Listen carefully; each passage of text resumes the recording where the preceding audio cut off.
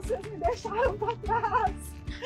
Olha lá, o barco no Mar da Galileia me deixou eu para trás. Pensa nisso, que coisa ruim. Imagina você também perder a jornada decodificada da vida ministerial. Não pode de jeito nenhum, porque Jesus poderia estar naquele barco, mas Jesus vai estar com certeza na nossa jornada. Clique aqui ó, no lembrete para você não perder nada, hein? Por isso eu te convido para participar da jornada Decodificando a Vida Ministerial de Jesus.